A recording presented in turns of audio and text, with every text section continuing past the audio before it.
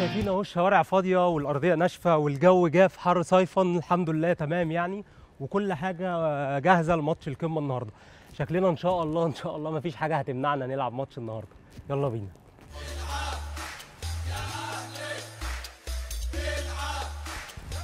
يلا يا جدعان.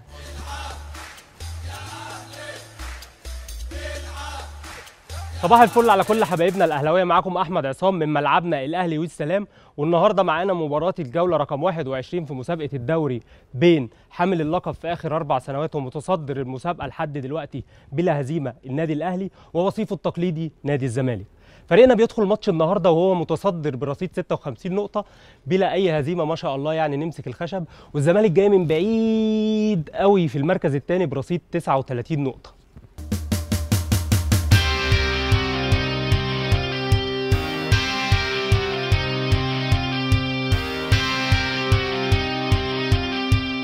الحقيقة الواحد مش عارف يبدأ منين. مباراة النهارده رغم إن هي بين المتصدر ووصيفه بفرق 17 نقطة لكن هي تبقى مباراة قمة مباراة ديربي مباراة الكلاسيكو المصري المتصنفة ضمن أقوى الدربيات في العالم اللي بنتمنى نشوفها قريب بجماهير في ملعبنا. الحقيقة عايز أقول لكم إن ماتش النهارده مش هيفرق خالص في الترتيب لأن فريقنا متصدر بفرق زي ما قلنا 17 نقطة. يعني لو الأهلي خسر الخمس ماتشات الجايين لا قدر الله أو حصل له أي ظرف ما قدرش يوصل ملعب المباراة لأي سبب كان وفريق الزمالك كسب الخمس ماتشات اللي جايين برده ففريقنا هيفضل متصدر برده بفرق نقطتين.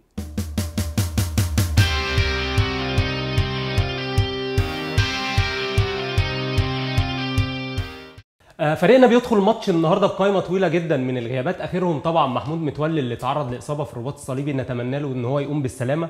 وكابتن محمود الخطيب حرص على زيارته في المستشفى عشان يرفع من معنوياته. وكمان كابتن محمود الخطيب كان موجود في التمرين يوم الخميس عشان يرفع من معنويات اللعيبة كلها قبل مباراة القمة المهمة.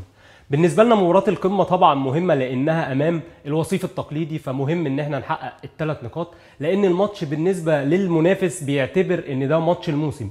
شفنا مستر كارتيرون الناحية الثانية بدأ يفكر في الماتش من بدري قوي ولعب ماتش FC مصر بلعيبة بدلاء وده كلفه إن هو يخسر نقطتين قبل ما يلاعب النادي الأهلي أصلا. محمود متولي مش هيكون هو الغياب الوحيد عن الفريق في ماتش النهارده ده كمان في محمد محمود وحسين الشحات الثنائي المصاب ومعاهم كمان كهرباء الموقوف. الفرقة طبعا في غيابات كتير وتراجع نسبي في الأداء لكن الحاجة اللي بتحسب للفرقة إن هو قدر يحافظ على سجله الخالي من الهزيمة حتى بعد التوقف الطويل جدا. فرقة بتكسب إنبي وبتعادل مع الإنتاج الحربي بعد التأخر في النتيجة ورجع مرة تانية بيكسب أسوان وعمل clean sheet لكن المهم بالنسبة لي في ماتش أسوان إن كان في أليو باجي سجل ومعاه كمان جيرالدو.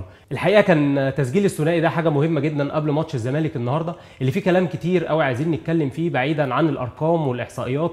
والكلام اللي بيبقى بيتاخد بحساسية دوت عشان الفروقات الكبيرة جدا. لكن لو هنيجي نتكلم على الأرقام والإحصائيات أنا في حاجتين مهمين عايز أقف عندهم. الأهلي قدام الزمالك في آخر 10 ماتشات في الدوري ما خسرش غير ماتش واحد وكمان آخر ماتش أصلا جمعنا في الدوري الزمالك انسحب وما قدرش يجي مش فاكر كان عشان المطر ولا عشان الزحمة ولا عشان إيه. المهم إحنا بنتكلم في آخر 10 ماتشات في الدوري الأهلي خسر ماتش واحد وكسب سبع ماتشات وتعادل مرتين. طبعا كل دي حاجات بتبين قد إيه الفرقة بتاعتنا يعني كعبها عالي سواء في الدوري أو في في البطولات اللي بنواجه فيها الزمالك. ونتمنى النهارده إن التوفيق يكون حالفنا ونكمل بقى السلسلة الطويلة من التفوق دي ونقدر نكسب ونحافظ على الفرق النقط الكبير جدا مع الزمالك.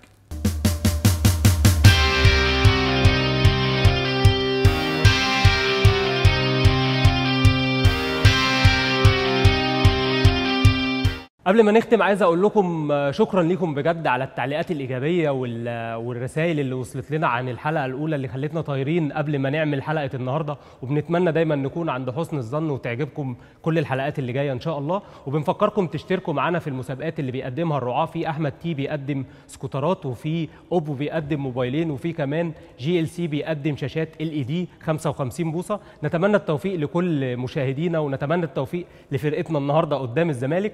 ونشوف نشوفكم إن شاء الله قبل مباراة الجونة الجاية. ويلا يا أهلي.